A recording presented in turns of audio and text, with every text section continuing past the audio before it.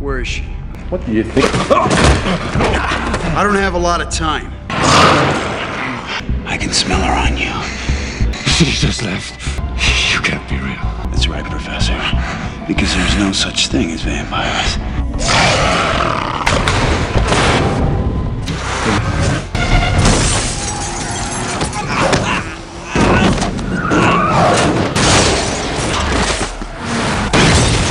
Not gonna let you hurt her.